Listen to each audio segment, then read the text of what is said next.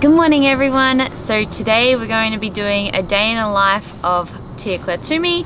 Um, and so I'm going to show you what I'll be doing and what I typically do on a regular day. Uh, you know, I start off with a coffee, I like to read and do some ROMWOD. So um, I hope you enjoy and don't forget to comment any questions that you may have at the very end um, so that we can do our best to answer them. And uh, yeah, I'm excited to show you what I do. All right, so I'm uh, making breakfast this morning before my morning session. And if you're intrigued to see what I eat during the day, especially um, what I've been eating for games training, um, you can actually head on over to my other my channel and you'll see that, we've done a day in the life of eating with Tia Toomey. So um, check that out if you're interested uh, in what I'm actually eating throughout the day. It's pretty similar, but there's a little bit of variety when it comes to like my lunch and dinners. I just like to change it up a little bit, but breakfast is typically the exact same.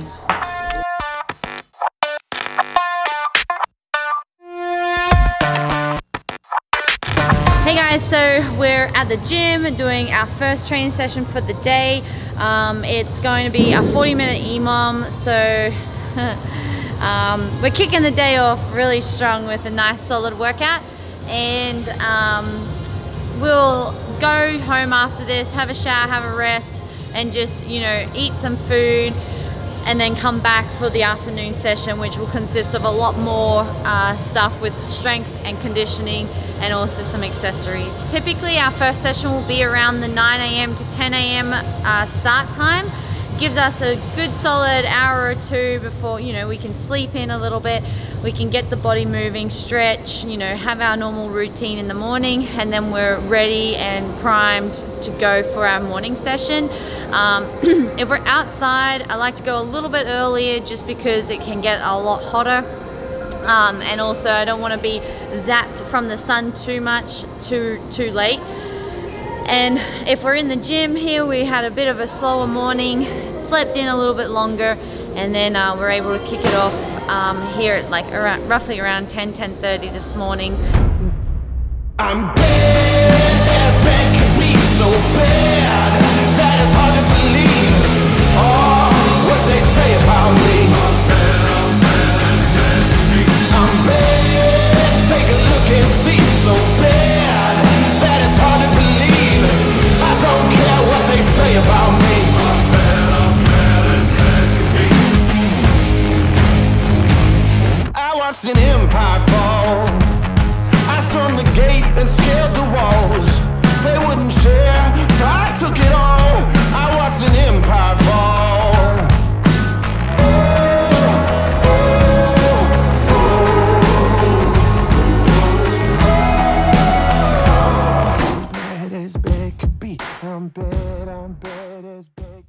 I, don't worry about specifically not being used to training too early just because I know that when it comes to the games I'm just ready for anything. And also I'm well rested you know I'm I'm not in as much of a deficit as what I am throughout my training cycle. So being able to quickly adapt and be like okay we got our first event at 6 a.m it doesn't really bother me at all because I know I would have had the right amount of sleep the, the day before. And um, and my body won't be as tired as what it would be say if Shane sprung that on us throughout training. But you know like there we, we find ourselves training uh, pretty late into the afternoon and, and not early night. And so you know that definitely helps when it comes to the games because there's some really long days you know we might be getting up really early and then having to do later workouts um, in the in the late afternoon. So I'm just so prepared when it comes to the games that uh, nothing really irritates or bothers me when my schedule say might be a little different to typical training day. And welcome back to another, nope, not sure. Maybe this is just another scene introduction, but we are on our way back uh, home from our morning session. So Tia's gonna take more of the conversation because this camera requires two hands. We just got done with our morning piece, so I'm just gonna go home. You look red. Yeah, because I just worked hard. And um, we're gonna go home, have something to eat, uh, pick up James because it's actually last chance qualifier this weekend, and also, um, did I say I'm gonna go have something to eat? Yeah. And then I'm gonna go and sit on the couch and just chill for a little bit, and then we're gonna go back into the gym probably around about 12:30, 1 o'clock. We're doing this for multiple reasons as well. Given that we're leading into the CrossFit Games, we do want to simulate a bit of the uh, the long drawn out day, applying intensity to each piece, making sure that every piece uh, has this element of rest involved, incorporating into it, like the recovery aspect of in between intervals.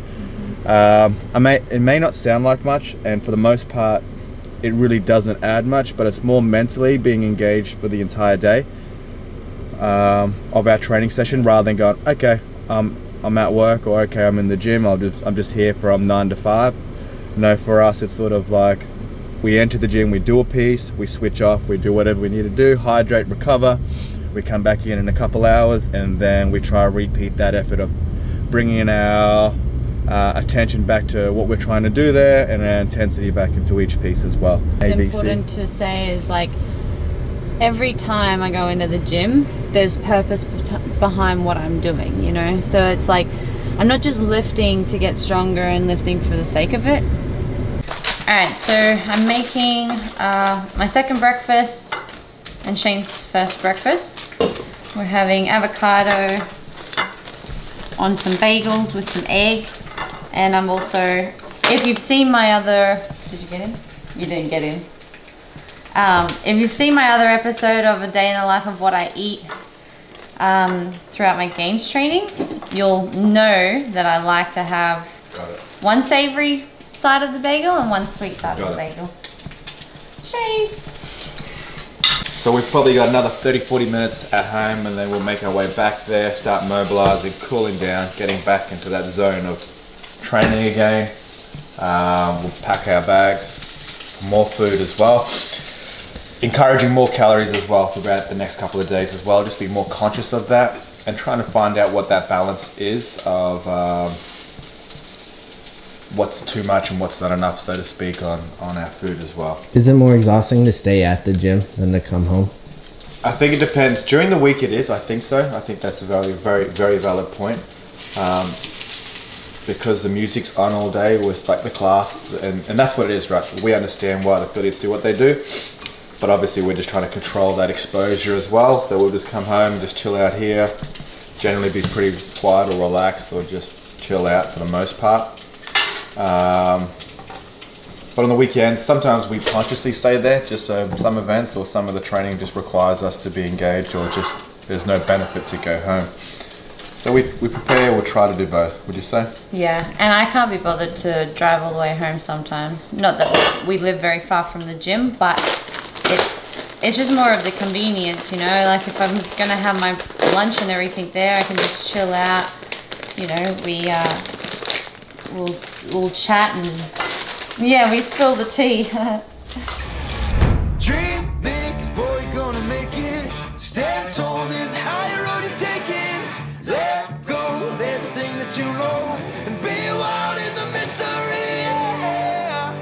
So we're back at the gym. It's about one o'clock and we're about to get into our second session. So um, we're just rolling out, stretching out. We probably stretch and roll out um, before every session uh, just to make sure that the body is feeling nice and loose. Um, you know, if we've done a track session, we're probably wanting to stretch out our legs a little bit more. Um, if we have a lot of upper body stuff to work through this afternoon, we'll stretch and get the upper body primed and ready to go. Um, and then I don't actually know what we got we got planned for today. Um, I'll go over to the uh, pro, to the whiteboard soon, but um, we'll we most likely will be starting off with some weightlifting and uh, getting the body ready for um, a nice little uh, Metcon piece afterwards. Try to follow it. Obviously, I do adjust it if for whatever happens that I don't overlook something like we've done. And it really happens more often than not. If I overlook something, say for instance, um, they accumulate a lot more handstand walk volume than I anticipated. Um, and then I have a shoulder exercise the next day, I'll, I may move that around.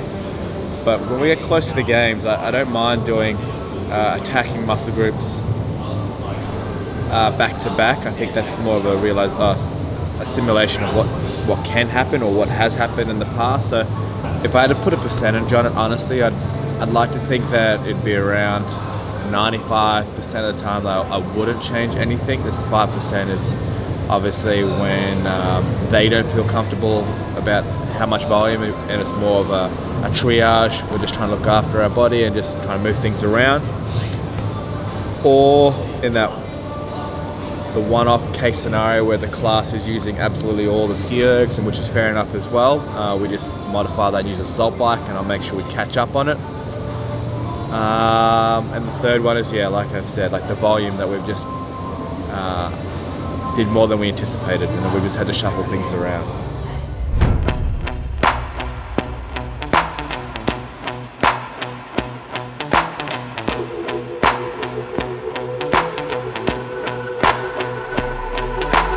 This is how it's gonna be.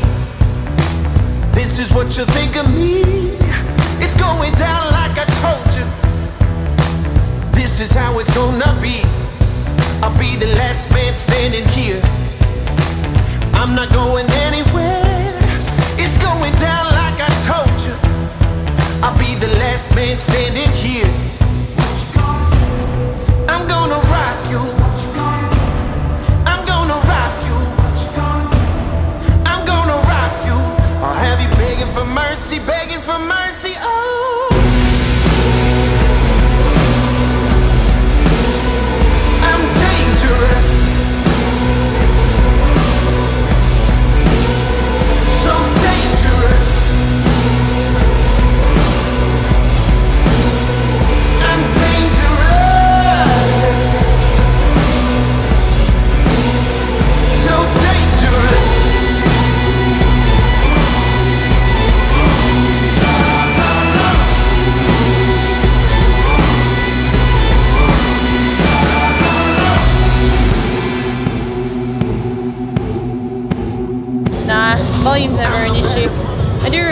Back in the day when I very first started out, I felt like I was always having to play catch up. So, you know, we'd have to do a lot more than probably what you would think we would have to do just because I felt like I needed to make up that 10,000 hour rule, you know?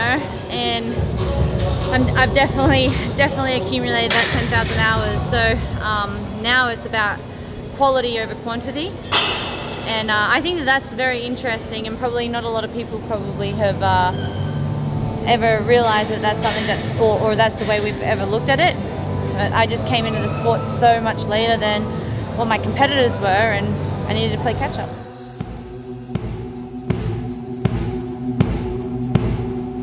Get ready, cause here I come. I'm about to come and get me some. Cause here I come. I'm gonna rock you. I'll have you begging for mercy, begging for mercy.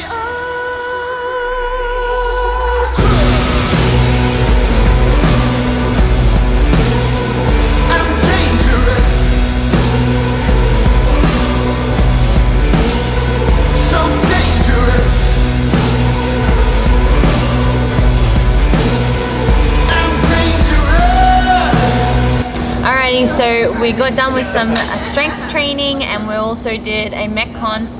We're now just having a bit of a break. I'm having some um, something to eat, so I've actually got spaghetti bolognese. Um, and then we're going to be just resting and taking a little bit of time before we get into our last conditioning piece, which is more of a long endurance um, um, uh, machine piece. And that should be the end of the day for training. And then once I get home, I'll be going home, having a shower, um, getting into my PJs, cooking something up to eat for dinner, tonight I think I either may have some leftovers of this or I may even have some salmon, see how I feel. Um, but I'll throw on some NormaTecs and just lay in front of the um, TV to chill and unwind. So I'll see you then. So guys, I hope that you enjoyed a day in the life of Tia Clair Toomey. Um, it's been quite eventful in terms of training and you know really getting after it for games particularly um, so I'd love to hear any comments any questions that you guys have um, you know just hearing what you guys have to say even about it is really really cool and, and fun to, to scroll through and, and read um, and just to get a different point of view on uh, on what it's like for you guys to see what I do um, so please don't forget to like and subscribe and uh, I really hope that you enjoyed seeing what I do on a, almost a daily basis.